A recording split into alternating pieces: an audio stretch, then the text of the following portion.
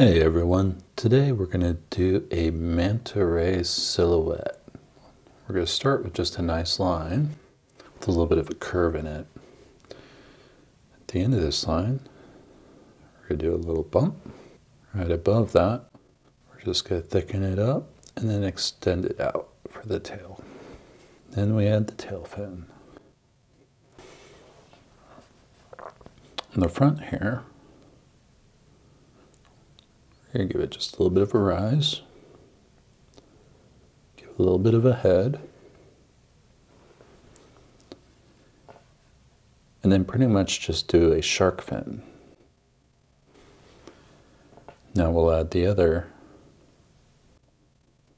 and fill it all in. And if we want to, we can add the other mandible.